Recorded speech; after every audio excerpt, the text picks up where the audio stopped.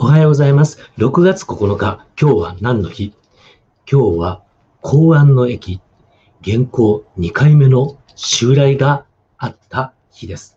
え、1281年6月9日、え、元都高麗軍の、え、軍がですね、対馬と壱岐に攻め込んできた日なんですね。え、これ2回目の、えー、現行なんですけど、この時ですね、あのこれ公安の駅と言いますが、現行軍、えー、はですね、まずはこの2つの、え、戦力を持っていました。えー、東路軍というものとですね、江南軍というものがあったんですけど、東路軍は、え、約5万6千人ぐらい、えー、軍艦が900艘、えー、ということで、えー、江南軍はですね、10万人ぐらいの、え、兵隊を乗せていたというふうに言われています。これは、え、江南軍は、え、戦艦が、戦艦というか軍軍船がですね、3500艘、え、ということで、でまあ、両方合わせてですね、15、6万、えー、15、6万人のですね、え、兵隊たちがですね、モンゴルから、え、そして、え、中国、高麗からやってきたということなんですね。そしてこの時ですね、えー、高麗の人たちはですね、この元が日本を襲撃をするということに対して、え、まあ、非常に喜んでいます。え、どういうふうに言っていたかというと、この首来、え皇帝は天下を統制していると、そして功績はすごく大きいと、その徳は寛大で、えもう広くその恩恵がこの大地の隅々にまで及んでいると。えしかしながら、ただ、え醜い島、日本だけが残り、まあ、あの汚い魚のように群れていると。ただ、海を隔てているということだけで、えそれを頼りにして領海を、え領土を保っていると。えそして日本は、え兆候をしたこともなく、えまたそれをしようとしたこともないと。えそこで、え帝が、首来が怒ってですね、えこれを打ちに行こうということにしたと。そして、え10万にも及ぶ勇敢な軍兵で日本の何を置いてその罪を問いに行くのだというふうに、え監視を読んでいます。えまた、えその戦いの後をですね、え想像をしてですね、え元の軍は一瞬にして日本軍の軍営を打ち破って、えもう早々に、えその戦いは終わるだろうと。えそして、えー、と、四方にですね、その歌声が聞こえて音楽が道を渡って平和な世が来るだろうというような、えそんな、え、歌を読んだりもしています。えそれを、それほどのまでにしてですね、えまあ、彼らは日本を、えー、服従させたかったということなんですね。そしていよいよ、東路軍が出港をします。えー、これ、モンゴル人、漢人などが、えー、からなる、えー、軍隊、そして、え高麗の人たちが、え作る軍隊、この混合軍で、え朝鮮半島から出てきます。そして、いよいよ6月の9日に対馬の侵攻が行われるわけなんですね。えまずは対馬侵攻というのが行われました。この1番と書いているところです。えー、そして、この時はですね、あの、対馬軍は、えー、東路軍は対馬に、えー、到着してですね、そしてそこに上陸をして、えー、日本側の激しい抵抗を受ける、受けてですね、えー、っと、この将がなくなったりもするんですけど、そのまま対馬にいます。そして、対馬からさらに、壱岐に、えー、壱岐の襲来をします。えー、そして、壱岐に行ってですね、その時にま暴風雨とかにあって、え何百人か行方不明になったりとか、えするんですが、え、まだ、その時はまだ、あの、彼らは拳銃な、え勢いを持っています。そしてこれ、一説によると、長門にも襲来をしたという説があります。ただ、これはあまり資料が残っていなくてですね、え長門に本当に来たのかどうかっていうのは定かではないようです。え、そして、えー、東路軍はですね、えー、捕らえた対馬の、えー、人からですね、え、太宰府の西にですね、あの、日本軍が東路軍の襲来を備えて移動したという情報を得てですね、え、その感激を抜いて一気に上陸をして、え、太宰府をに攻め入ろうということを考えます。そして、え、博多湾に、え、入ってくるわけですね。しかし、博多湾に入ったところ、えー、ここではですね、日本軍はすでにその準備をしていてですね、約20キロにも及ぶですね、あの、防塁を、えー、作っていたんですね。えこの防塁というのはこういう、え石畳を、え沿岸上にずっと20キロにわたって、え作っていました。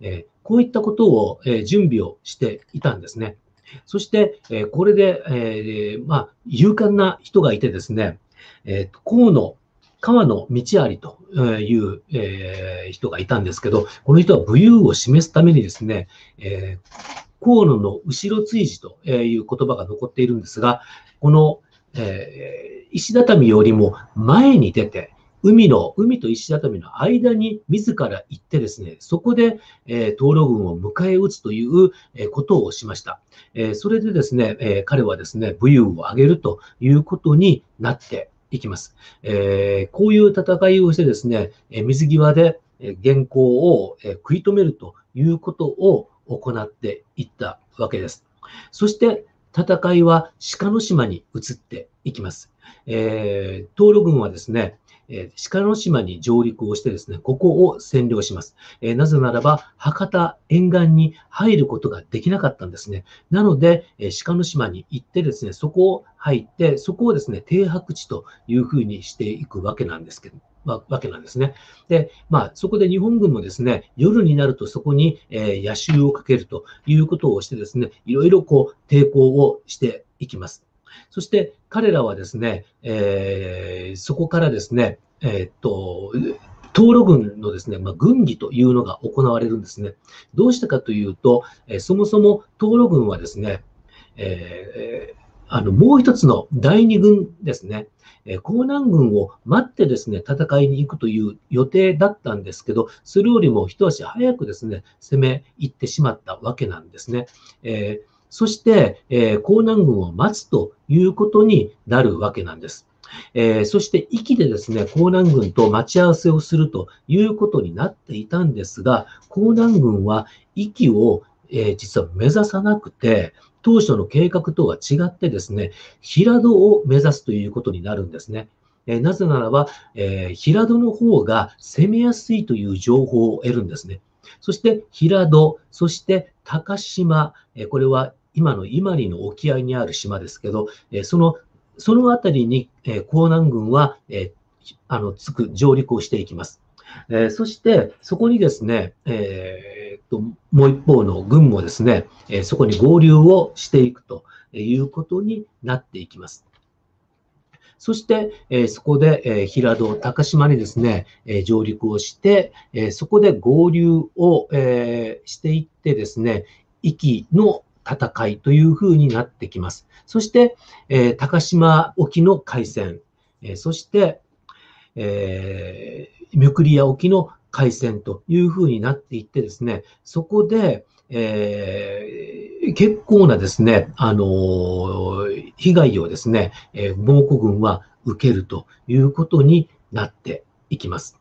えー、日本軍は非常にあの力強く戦ってですね、え乗り込んでいって、船にも乗り込んでいってですね、えそこで捕虜を捕まえるとかですね、そういったことを、奮戦をするということになりました。これで、えー、この戦いにおいて、ミクリアの、えー、海上戦でですね、元軍の軍船は今、え、今里の沖合は今里の湾からですね、ほぼ一掃することが、えー、できました。えー、そしてですね、そこに、えー、この風が吹くということが起きてくるんですね。えー、そこに風が、えー、台風が来てですね、えー、その台風が、えその船と船とを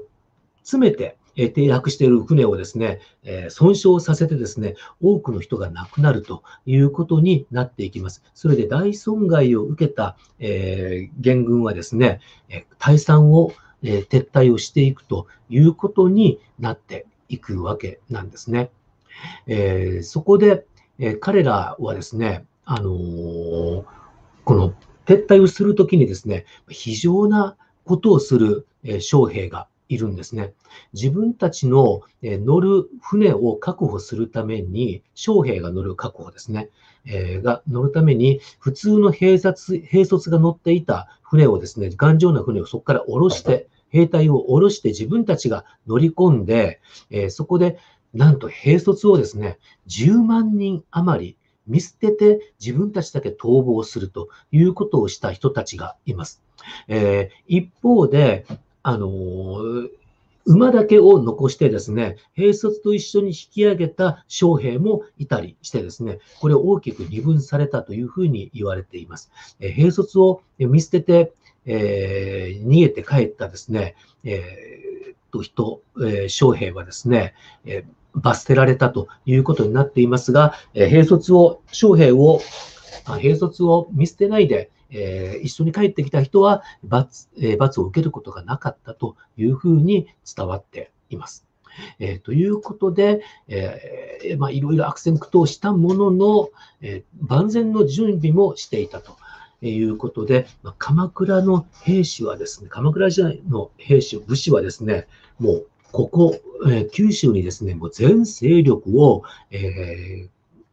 かける勢いで、えー、防戦をしたということなんですね。で、えー、結果的にこの戦いには間に合いませんでしたが、えー、まだ多くの武将がですね、この九州に向けてですね、戦いの準備をしていたという記録も残っています。えー、なので、えー、日本はですね、この時元寇に対して、もう全、もう全日本の武将集まってですね、え防戦をして、えそこにプラス風が吹いて、え助かったと、え日本は勝利を得ることができたという戦いでした。えこれが6月9日、公安の駅が今日始まった時ということでした。ということで、えー、面白いなと思ったらぜひいいねボタンを押してください。えー、そして番組登録もよろしくお願いいたします。ということで、えー、それではまた明日。さよなら。